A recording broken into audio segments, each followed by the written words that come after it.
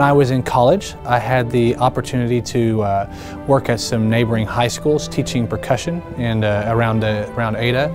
And what I discovered is that how cool it was for these kids to have the same passion that I had. Uh, and also that you literally had the ability to change their mind and to cause them to learn. And I, I, never really thought of it like that. And all of a sudden I see these kids growing and having passion for what, like I do, for music. And I just, that was just addicted at that point. Uh, it was, that's, I knew that that was what I was going to do. If they can see the passion that you have for music, um, that's addicting.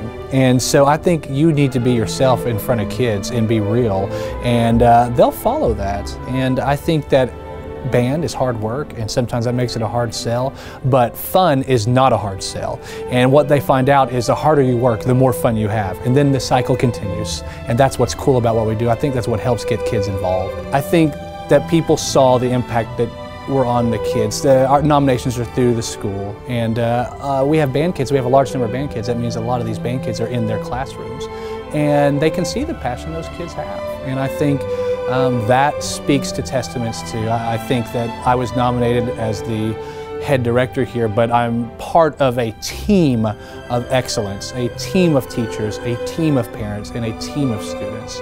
And I think uh, that, uh, you know, being quote unquote the, the guy uh, the head director, uh, kind of the symbol of that. That being said, um, we have wonderful teachers. We have wonderful teachers we teach with, and we have wonderful kids. We have wonderful parents. So uh, it's luck. I just happen to be the guy that uh, is a symbol of what's going on in the Southmoore Band. If you want to get down about education, you can real quick and it's really easy to just talk about the pay or the, the, the hours or whatever you want to talk about. And those things do need to be talked about, they do need to be discussed, they do need to be fixed. That being said, what makes a great teacher is to be able to look through all of that, push all that to the side.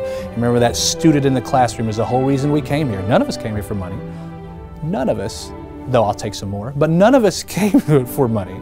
That being said, we came here for the kid. And when your eyes on the kid and that kid growing and that kid uh, making great music or that kid becoming a great citizen or you get to watch that kid 10 years later and see what happened to them and see that maybe you played a little bit of a role in that, that's what makes a great teacher.